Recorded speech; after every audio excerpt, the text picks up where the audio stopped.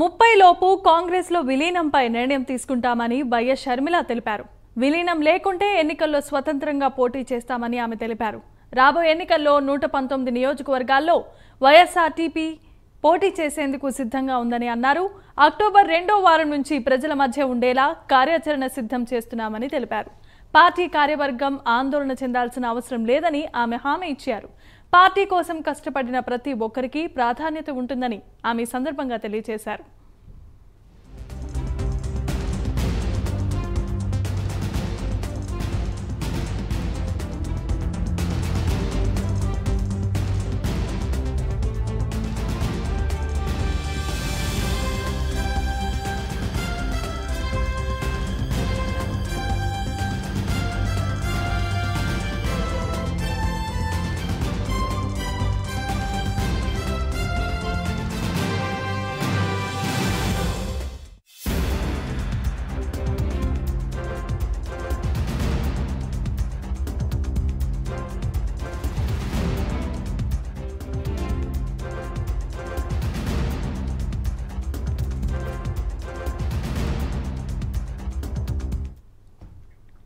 ఇక ఈ నెల ముప్పై లోపు కాంగ్రెస్లో విలీనంపై నిర్ణయం తీసుకుంటామని వైఎస్ షర్మిల తెలిపారు. విలీనం లేకుంటే ఎన్నికల్లో స్వతంత్రంగానే పోటీ చేస్తామని అన్నారు.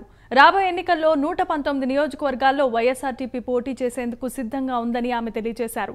అక్టోబర్ రెండో వారం నుంచి ప్రజల మధ్య ఉండేలా కార్యాచరణ సిద్ధం చేస్తున్నామని అన్నారు. పార్టీ కార్యవర్గం ఆందోళన చెందాల్సిన అవసరం లేదని పార్టీ కోసం కష్టపడిన ప్రతి ఒక్కరికి ప్రాధాన్యత ఉంటుందని ఆమె తెలియజేశారు. ఇదే అంశానికి సంబంధించి మరిన్ని అప్డేట్స్ను మా ప్రతినిధి నాగేంద్ర లైవ్ ద్వారా అందిస్తారు. నాగేంద్ర చెప్పండి. Thank you Jemimah.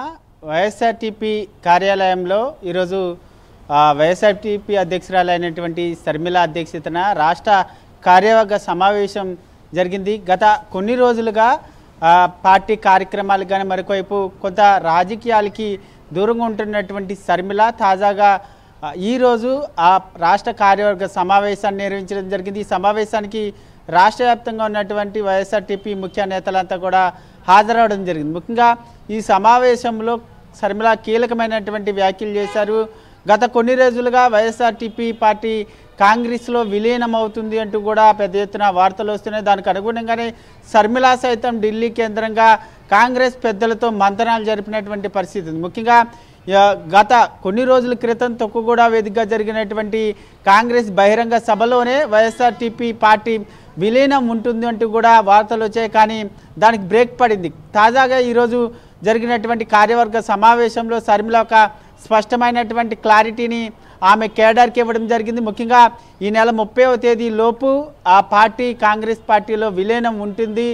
ఆ దిశగా నిర్ణయాలు జరుగుతాయా లేదన్నది మాత్రం పార్టీ కేడర్కి శర్మిల చెప్పినటువంటి పరిస్థితి ఉంది. అంటే ముప్పై లోపు అంటే దాదాపు మరొక ఐదు రోజుల్లో మాత్రమే వైఎస్ఆర్టీపీకి సంబంధించినటువంటి పార్టీ విలీనం ఉంటుందా లేదన్నది మాత్రం ఒక స్పష్టమైనటువంటి స్పష్టత వచ్చే అవకాశం ఉంది. ఎందుకంటే ముప్పై తేదీ దాటిన తర్వాత అక్టోబర్ రెండవ తేదీ నుంచి కూడా రాష్ట్ర వ్యాప్తంగా ఆ వైఎస్ఆర్టీపీ కార్యక్రమాలు నిర్వహించేందుకు సిద్ధమవుతుంది. ఆ దిశగా కేడర్ అంతా కూడా సిద్ధమవ్వాలంటూ కూడా శర్మిల ఆదేశాలు జారీ చేయడం జరిగింది. ఒకవేళ పార్టీ విలీనం కాకపోతే మాత్రం వచ్చేటటువంటి ఎన్నికల్లో నూట పంతొమ్మిది నియోజకవర్గాల్లో వైఎస్ఆర్టీపీ పార్టీ పోటీ చేస్తుందంటూ కూడా ఆమె కేడర్కి ఆదేశాలు జారీ చేయడం జరిగింది. ఆ దిశగానే ప్రతి ఒక్కరు కూడా గ్రౌండ్లో ఉండి ఇప్పటి నుంచే ప్రతి ఒక్కరు కూడా గ్రౌండ్లో ఉండి పనిచేయాలంటూ కూడా శర్మిల చెప్పినటువంటి పరిస్థితి కనబడుతుంది. మరి ఈ నెల ముప్పైవ తేదీలోపు కాంగ్రెస్ పార్టీలో వైఎస్ఆర్టీపీ పార్టీ విలీనం ఉంటుందా అన్నది మాత్రం ఒక క్వశ్చన్ మార్క్గానే చూడాలి. ఎందుకంటే ఇప్పటివరకు కూడా శర్మిల కాంగ్రెస్ పెద్దలతో మంతనాలు జరిపింది. అదేవిధంగా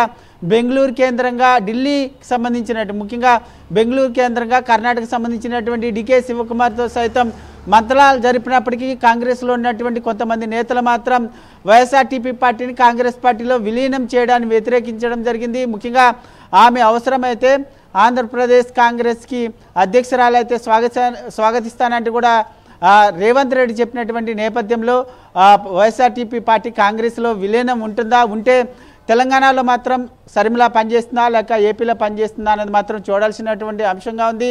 దాదాపు శర్మిల వ్యాఖ్యలు చూస్తే వ్యాఖ్యలను బట్టి చూస్తే మాత్రం వైఎస్ఆర్టీపీ పార్టీ విలీనం ఉండదేమోననేటువంటి అనుమానాలు మాత్రం స్పష్టంగా అర్థమవుతున్నాయి. ఎందుకంటే ఆమె అక్టోబర్ రెండవ తేదీ నుంచి అక్టోబర్ రెండో వారం నుంచి ప్రతి ఒక్కరు కూడా ఆ, ప్రజల్లోకి వెళ్ళాలి. ముఖ్యంగా పార్టీ విలీనం లేకపోతే ప్రతి నియోజకవర్గం నుంచి నూట పంతొమ్మిది నియోజకవర్గాల నుంచి కూడా వైఎస్ఆర్టీపీ పార్టీ పోటీ చేస్తుందంటూ కూడా ఆమె చేసినటువంటి వ్యాఖ్యల తర్వాత వైఎస్ఆర్టీపీ పార్టీ విలీనం పైన కొంత నీలి నీడలను కమ్ముకున్నాయని చెప్పాలి Jemimah.